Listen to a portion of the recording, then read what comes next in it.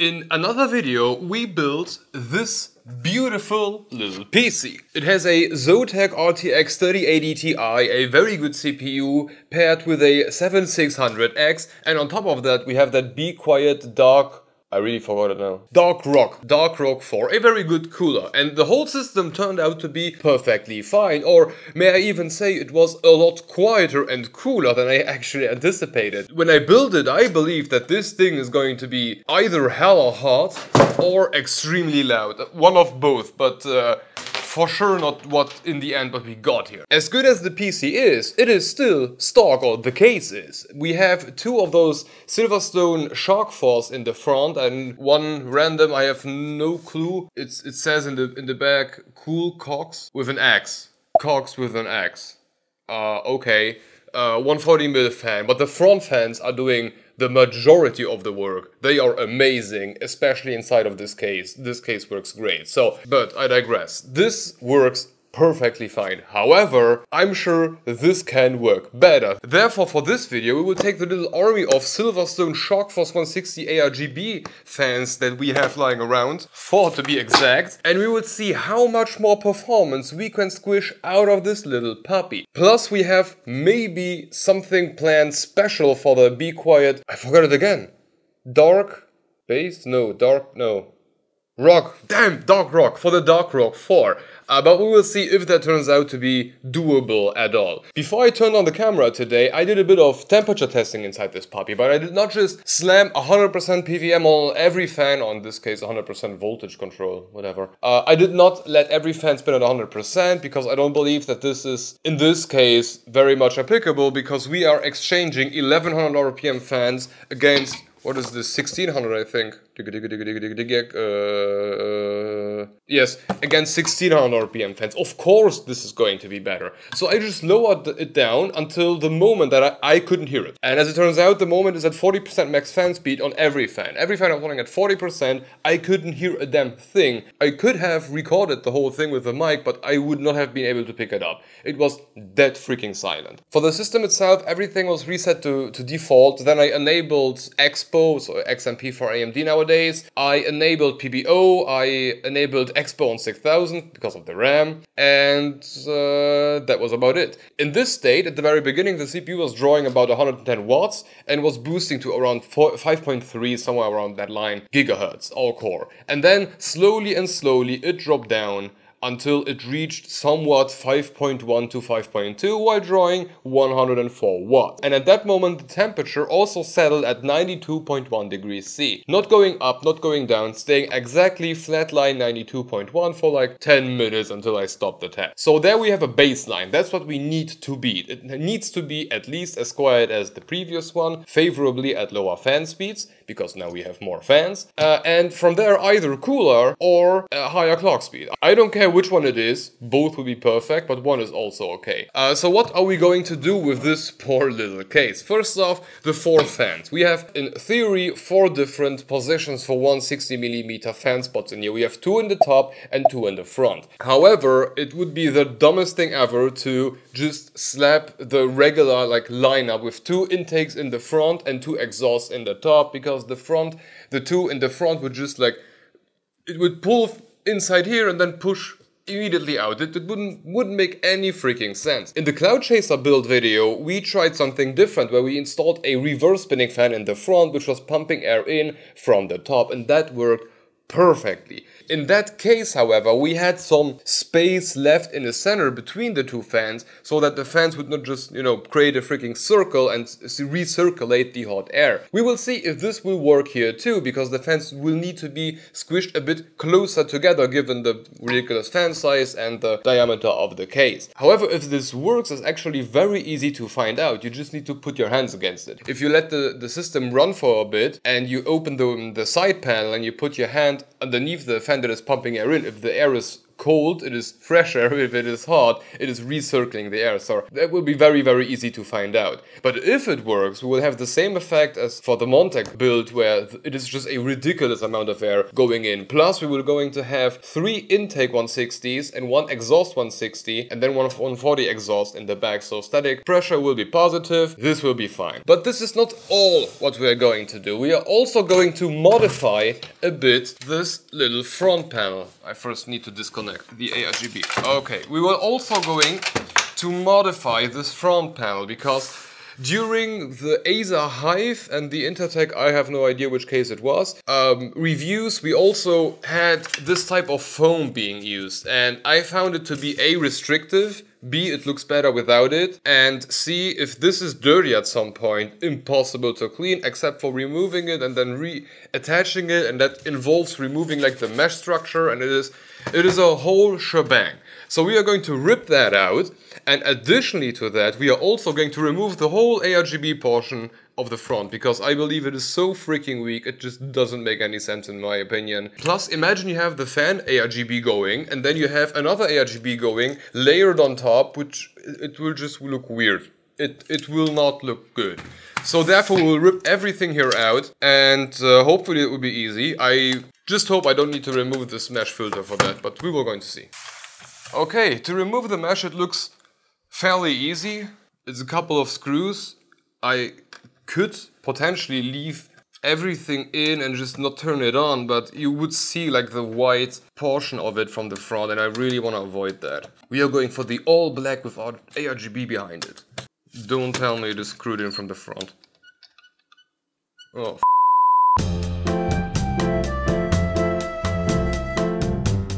Yeah, I think I know why this is so weak. I mean, you, you can barely see the strips, oh, the, the LEDs inside the strips. It's like milky on top of this, plus it is just a reflection of the milkiness on here. It's This is not a good approach. They should have just put a normal strip in there. Okay, so the problem is, I think there is a screw here and here, keeping the whole shebang together.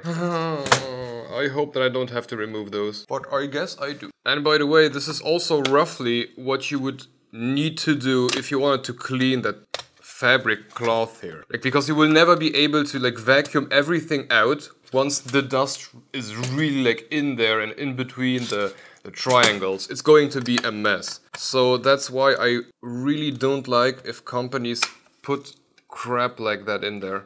And these two screws are unnecessary. Okay, I think that was all. It's already falling out. Oh no, they put one in here. Like inside that little stupid thing. Who does that? Yay, we got it out. So this is that fabric. It's It works, but it blocks more air than is really necessary. Like, uh, how should I demonstrate it? Uh, I got an idea. I will just quickly dirty connect one of those 160mm fans and let it spin at 100%. Now it's spinning at 100% and let's take... Okay, there is enough force so that I don't need to, to hold this. Like you can see it, it kind of floats, which is kind of funny. okay, so this floats and now we need to put this on there. Okay, so first off, I don't know if you can hear it, but it is now quite a lot louder. That's the first problem. And the second problem is barely floats anymore. Or it just doesn't float anymore. You see, it, it, it just doesn't. Uh, of course, this is now an extreme example because I'm pressing it against it. The effect will be amplified a lot. So um, if I would not have put it that hard against it, the effect would be a lot more diminished. Like in this case, you have like, I would say five centimeters. Yeah, around five centimeters between the fans and that filter. But the effect stays roughly the same. It will be diminished, but it is still, it is losing performance just because of this. And let's be honest, clean your PC once in a while, you will not need that type of fabric. The triangles here are already some kind of filter. And yeah, exactly as I thought, screws. Okay, ARGB strip out, that that's one piece. ARGB strip out, that acrylic thing to make it shine is also out, the filter's out. Now it's time to get annoyed by repositioning this whole thing back. And if you are ever going to do something like this, do yourself a favor, start in the center and press on the rest of the of the plastic around the frame as hard as possible to squish both pieces like real tight against each other. Otherwise you will get like a little margin in there and that just doesn't doesn't look very appealing. Oh and if you don't uh, manage to like get to each and every single one, don't be too hard on yourself. You don't need like 18 to keep a, a, piece of metal in place. This is also fine. However, you can already see I will never get it as like tight as uh, a factory. Like, like listen to this. It didn't make that sound before, but it won't change anything. The fans are not strong enough to make this vibrate. You won't even notice this.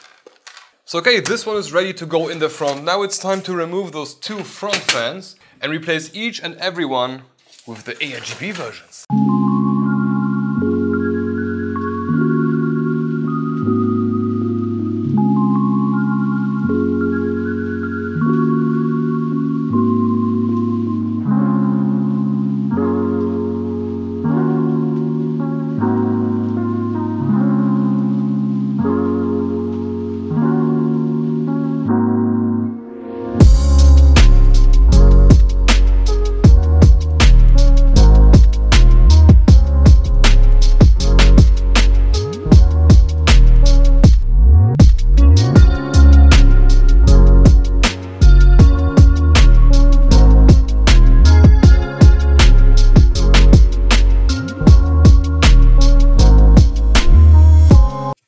Coming to that, maybe it works, maybe it doesn't surprise.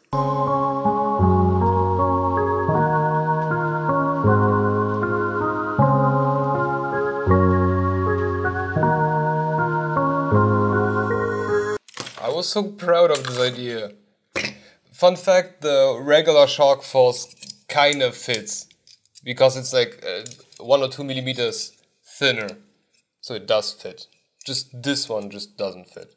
Now I need to feddle those back on for a fan that whose removal was completely unnecessary.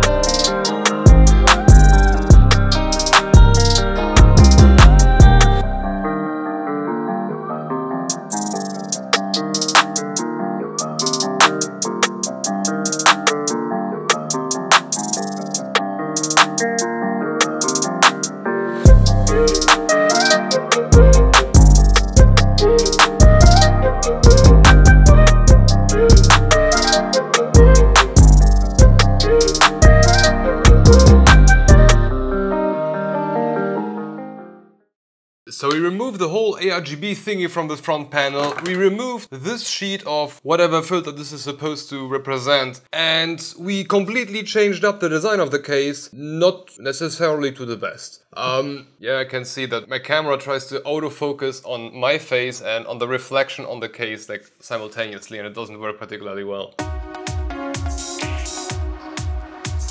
I'm not sure if I like this or no, I, I know that I don't like this. I wasn't aware of how much see-through the front actually is, but now you can see how much air will be going through it. It looks performance, but not particularly well. Like, you see the whole fan, yeah, it, is not my thing. Maybe if you would slap like three 140s inside the front panel, so uh, you, you reverse the bracket and then you install it on the outside, that will work maybe. Uh, that might even look good, I am not sure, but uh, yeah, this was probably probably a good idea performance-wise, but not such a good idea uh, from a design standpoint. That being said, we ran the benchmark for this little puppy now with the new design and new fan setup. And uh, by the way, the intake in the top front works perfectly fine. If you put your hand underneath it, you can immediately feel that it's, it's just cold air. And if you compare it to the exhaust at the top or exhaust in the back, it's, it's a different world. This works perfect. That being said, we are looking at quite the the change. The temperature settled at like 91.3, 91.4 fluctuating up and down. And uh, that's amazing. Yeah, that's 0.5, 0.6 degrees C lower than we were before, which is amazing. The fans are still running at 40%, uh, all of them. And I'm pretty sure if we set the speed to 30% just on the on the front and the top fans and the back fans, basically all the case fans, what we will get is not much of a difference. I can see that we now went to 91.5, 91.6, 91.8, still fine. 91.5, 91.6, yeah, that's still not a lot. I, I, I could probably go even lower. So we did win something. The issue now for me is just I have no clue uh, how much this affected performance, but the, new fans definitely did something. We have a lot more airflow going through this thing. And uh, just for nice reference, because I have the numbers for the original build with the original fan all at full blast. I would show on the screen because I, I don't remember them right now, but I can also now put everything at full blast yeah, having everything at full blast now drops the temperature down and down and down. We are at 80, 86.9, 86.8. This is an amazing temperature for a 7600X. Really great. 85.6 and it's dropping and dropping and dropping. Ah, this is great. 85.4. Yeah, I will not wait until this is done. This will take like forever. Let's set everything to 20. I mean, you get the point. Exchanging the original fans for Shark Force 1, uh, 160s and uh, especially adding some in the top is a great idea. I will just remove this because my reflection really annoys me. Especially on top, it's a very good idea, but if you wanted to do, do not make both of them be an exhaust fan. Otherwise, you will just throw away a lot of potential cold air, and it doesn't make any sense. So uh, either no fan or intake. Uh, otherwise, it just doesn't make sense. So this works great. Uh, temperature-wise, I'm I, I am really amazed about this whole build, how it turns out temperature-wise. Very, very, very good. I'm completely shocked. As far as this is concerned, I definitely regret it.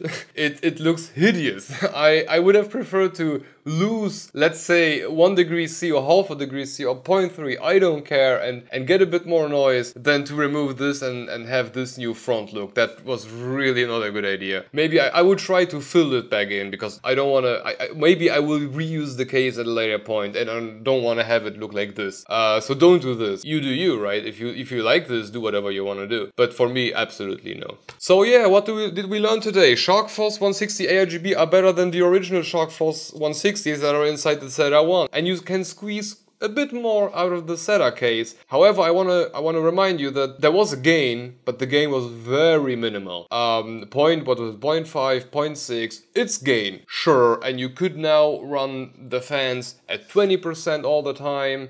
The, the intake fans and the exhaust fans, that would still work, but it was already unhearable at 30, so does this make sense? Well, yeah, but don't expect the world. But okay, I think this was about it for the SETA tuning video. Why the hell did I rip that thing out? It, it looks hideous. Uh, this is really my mistake. But uh, yeah, tell me what you think about that front intake, like the top front intake fan. It's a bit unconventional, but I would rather have more intake than to, to just throw away potential air. But uh, that seems like an uh, experimental worthy video. Anyway, thank you for watching and hope to see you in the next one.